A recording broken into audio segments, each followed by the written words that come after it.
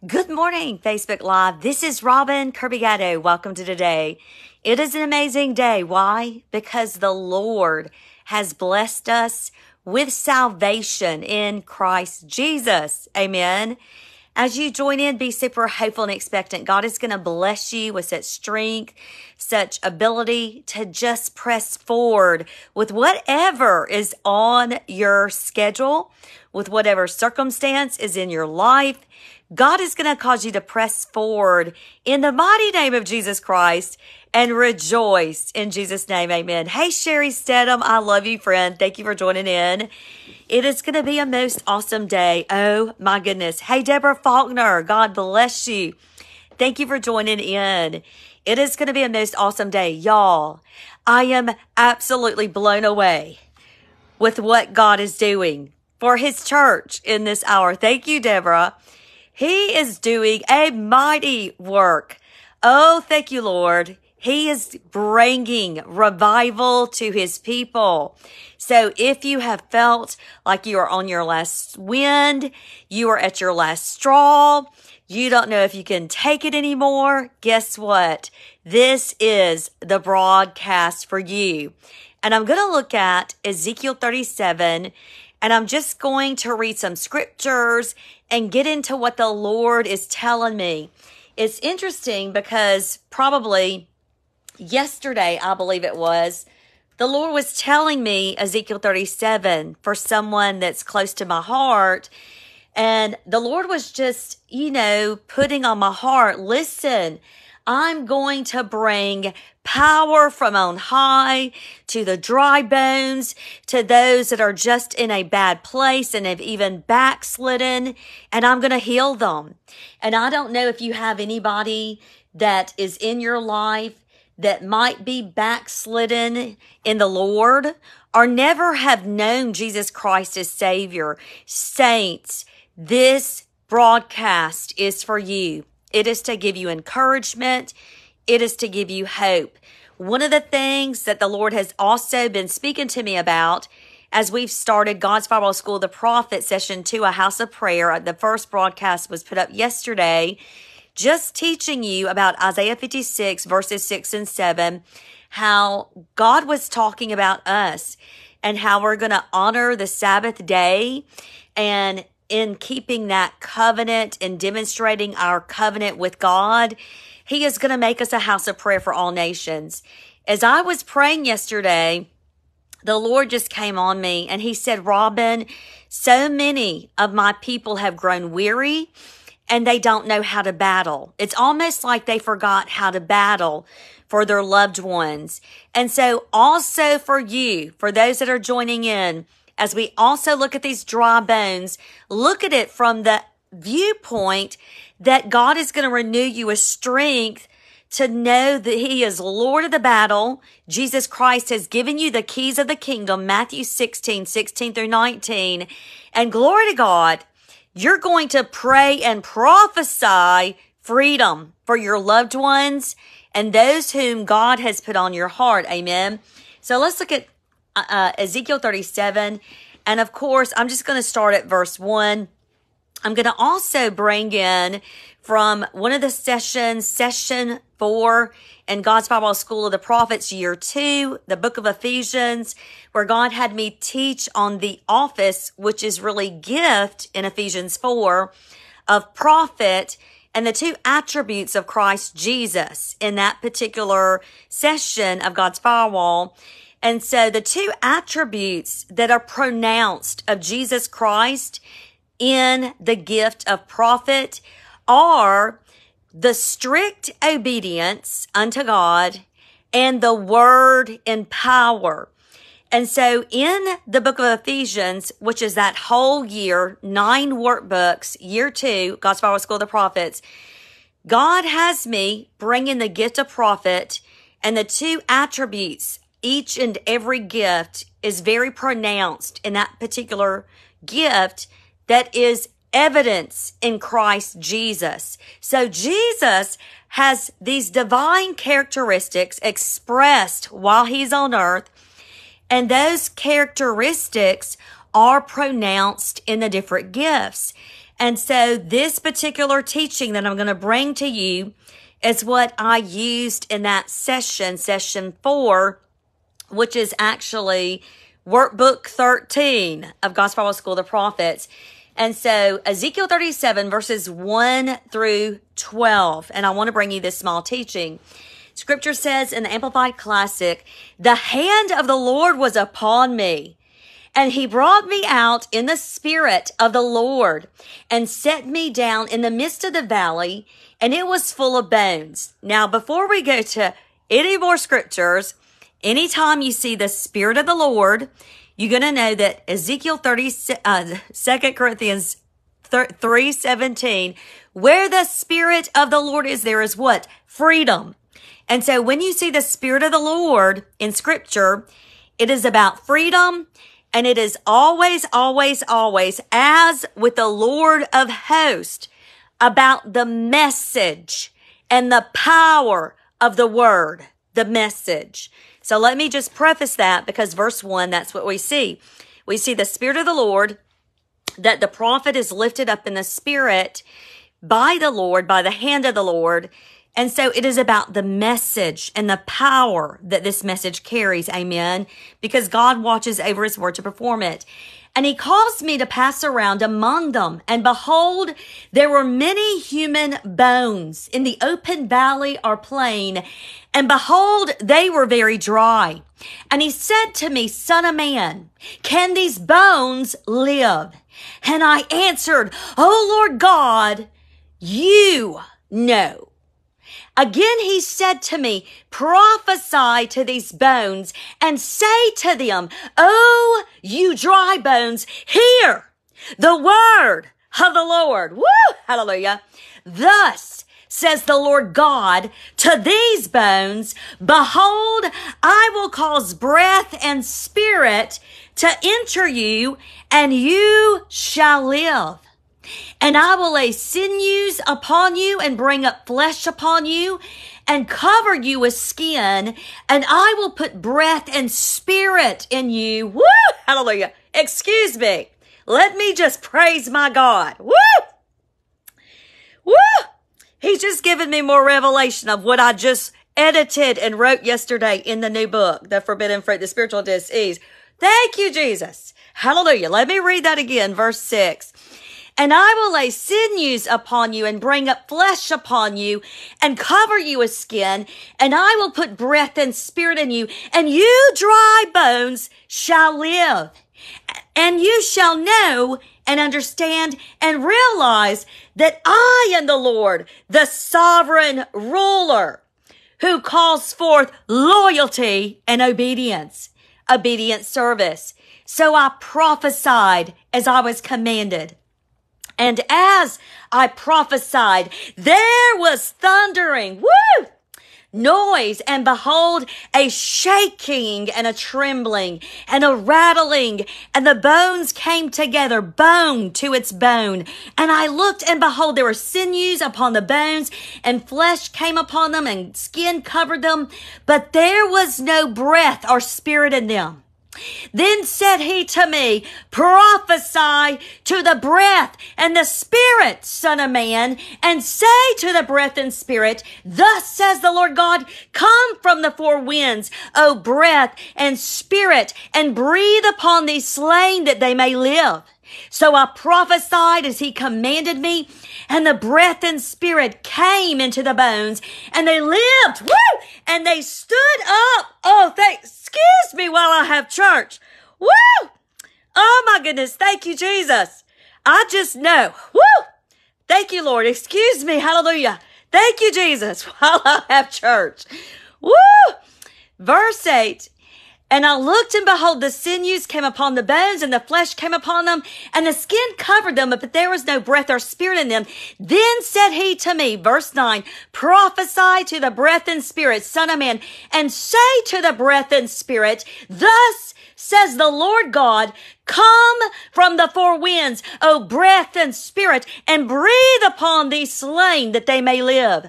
So I prophesied as he commanded, and the breath and the spirit came into the bones, and they lived, and they stood up upon their feet. Hallelujah. And exceedingly great host. Woo! Excuse me, y'all. I am just having church. Woo! Woo! Because I know what God has had me write in the new book. Woo! This is just blessing me. And I'll give you just a little morsel. Oh my goodness. Just wait. Woo! Y'all get ready. Thank you, Jesus. Verse 11. Then he said to me, son of man, these bones are the whole house of Israel. Behold, they say, our bones are dried up and our hope is lost. We are completely cut off. Therefore prophesy and say to them, Thus says the Lord, Behold, I will open your graves and cause you to come up out of your graves, O my people, and I will bring you back to the land. Woo! Can you say the land? Hallelujah. Of Israel, and you shall know that I am the Lord, your sovereign ruler, when I have opened your graves and caused you to come up out of your graves, O my people, and I shall put my spirit in you, and you shall live, and I shall place you in your own land. Then you shall know, understand, realize that I, the Lord, have spoken it and performed it, says the Lord. So, woo! Oh my goodness, I've been having church. So the two attributes, the strict obedience and word and power, the gift of prophet, those two attributes of Christ Jesus are pronounced in the one that carries and walks in that gift. And so the analogy God had me as in the whole book of Ephesians, it was about astronomy. You know, I do the different sciences. Year one is about anatomy. Year two, astronomy. Year three is about just different things in relation to the earth and also the ancient Hebrew. Year four, physics and mathematics, the Gospel of John and the book of Song of Solomon, off the chain. So year, year two, God has me with the office gift of prophet, strict obedience in the word and power. And so the Holy Spirit has me use the analogy of lightning and thunder. Are you ready? This is what's so amazing. And so when lightning happens, the heat from the light, the lightning comes into the atmosphere and all of a sudden it expands it. And once it expands it, it's created a vacuum that all of a sudden the wind comes behind it and you hear because of the lightning. And so the word is like lightning that comes forth with the fire of God upon it and creates a space. Woo! Hallelujah! For the spirit, for the wind. And you're going to hear a thunder and a rumbling and you're going to see the word being performed in your midst. Is that not powerful? And so God brought me that in 2012 when I taught on gift of prophet. And as I read Ezekiel 37, and this is the scripture that he had me use. So Ezekiel 37 verse 7. So I prophesied, sent the word, because you've got to understand in the book, God's Bible School of Prophets, a house of prayer, God has me unpacked the gift of prophecy. Saints, that gift has power. It is the word of God and God watches over it to perform it. And so in this process, as we're learning how to pray the word of truth and the Father's heart, as I do that teaching series, saints, this verse 7 is such a great picture to understand what's going on. So as I prophesied, as I was commanded, there was thundering noise And behold, a shaking and a trembling and a rattling, and the bones came together, bone to bone. God showed me, He said, Robin, that's the lightning and the thunder. When the word goes forth, that light and it creates a space for Holy Spirit to perform the word. That that wind that comes in that vacuum, that that lightning created as it expounds in the air, that that wind causes the thunder. And I was like, praise the Lord. Woo! Strict obedience. Only speak what the Father tells you to speak. When I was in that test of strict obedience for about three years, God would not let me speak hardly at all. He would give me all these revelations and I would be in Bible studies. I would be at meetings and these people would be teaching on things and I would be going, Oh God, you have given me so much revelation. If they only knew this. But see, he was testing my flesh, my pride and I just said nothing. And I'm telling you, saints, that some of y'all are in this test where God is allowing you to be in this space of strict obedience, that you're just not moving your mouth whenever you want, but you're moving it when the Father wants. Because as you pray and the power of prayer, which then you'll see turns into the gift of prophecy and you're flowing in the gift of prophecy and prayer, you're going to see power as your prayer, prayer avails tremendous power. It availeth much. Now watch this because this is so powerful. And I'll just give you a morsel. I don't want to give too much. It is mind blowing. Okay. And I've gone back and edited again chapter one this week.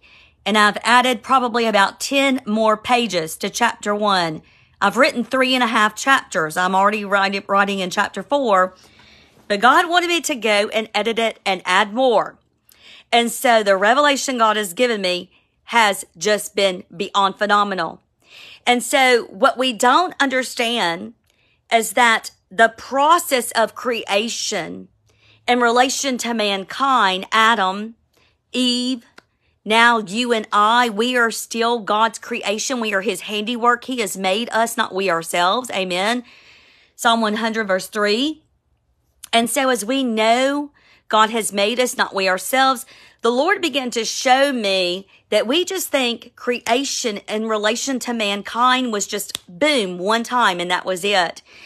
And God had me really define and lay out, and I do it for at least 10 pages in chapter one at the intro and layout in 10 pages. What does creation look like for Adam and how does that apply to us? And God began to show me that creation is the form of the thing, or can we say person, Adam, and plus the environment. You're about to get breakthrough. Somebody here needed to show up today because you needed a breakthrough. And this is about to shift your mindset as the power of God's holiness works and stirs your inner man and brings the transformed mind. And so God began to show me, and I get into great depths, great detail, so much Hebrew, so much Latin, so much science, so much scripture. Okay. I just don't want to give too much away, but just give a snippet because Holy Spirit has been all over me as I've been reading this because I see it.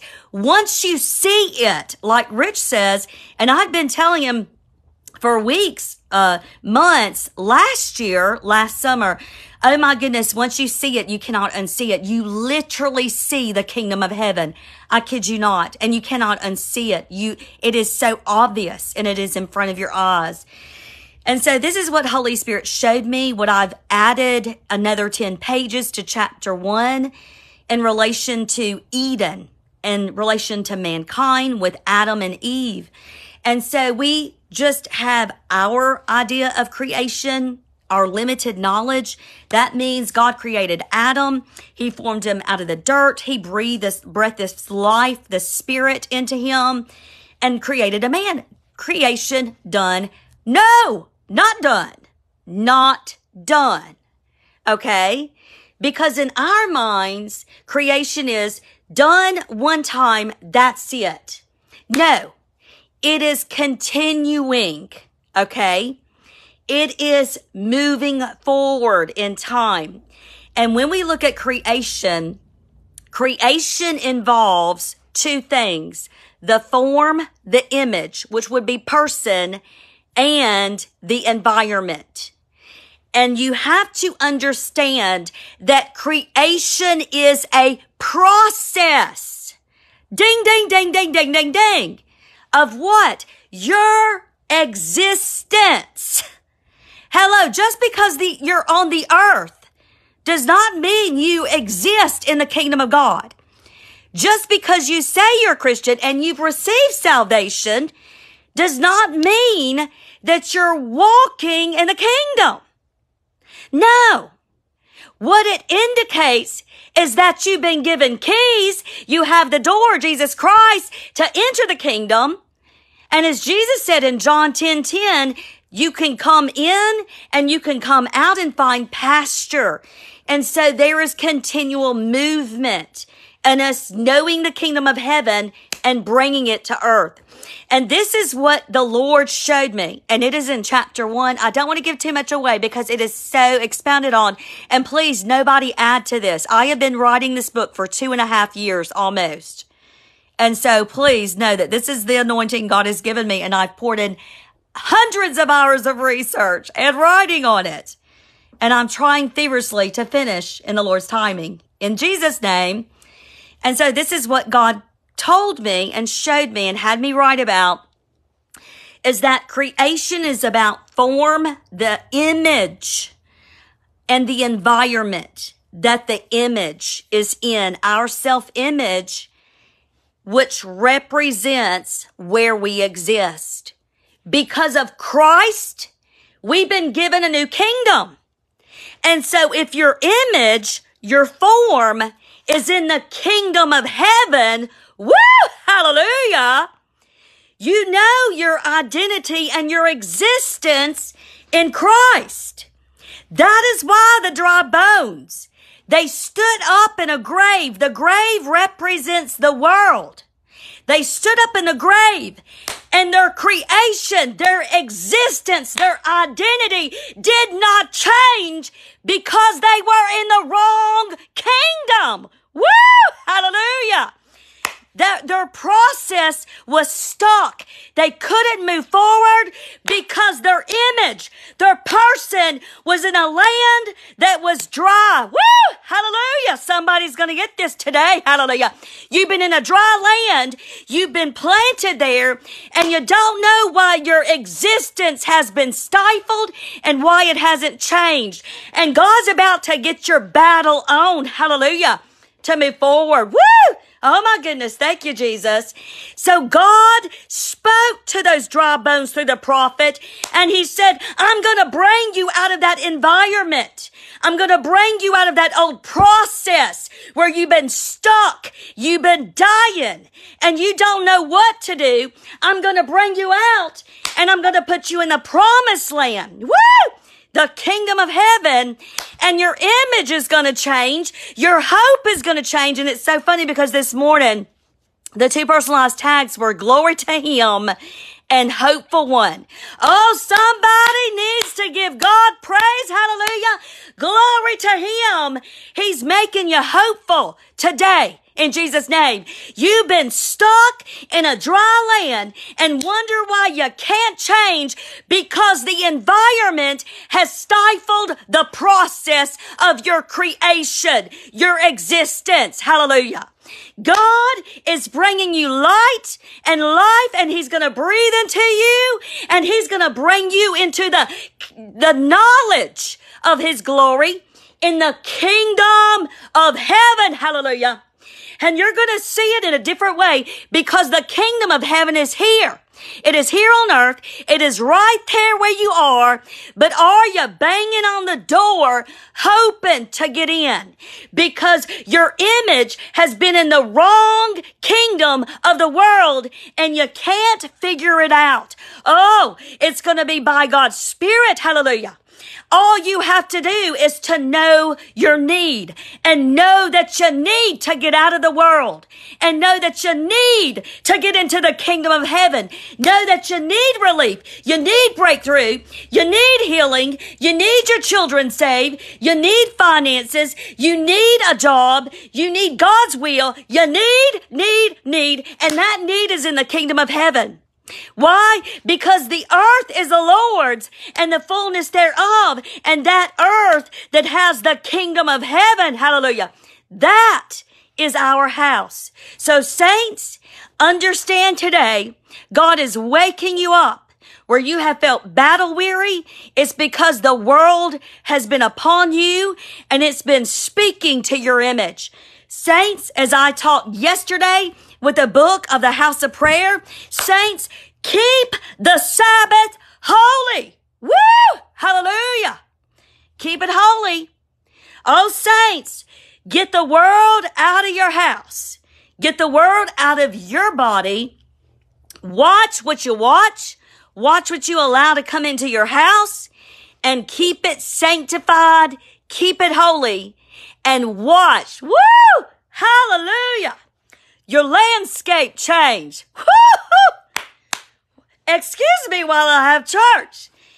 God provides a ram in the bush and a way of escape. You get your escape from the world when you have a new landscape. Woo! Oh, I gotta look it up. Play, praise the Lord. Oh, I cannot stop praising the Lord. He is preaching today, isn't he? Landscape, visible features of an area that has an appeal. And landscape comes from the Dutch words land and scap, which means the equivalent of a ship.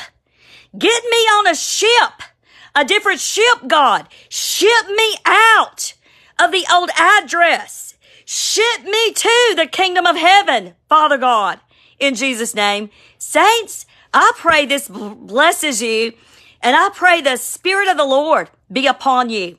I pray that where the Spirit of the Lord is, there is liberty, there is freedom, I pray that God flood the eyes of your understanding with a light of truth, bringing you knowledge, wisdom as to the kingdom of heaven, the kingdom of God and his righteousness, and that you see your need, run to the throne of grace, obtaining mercy and grace boldly for your time of need in Jesus' name. Amen. God bless you. I love you.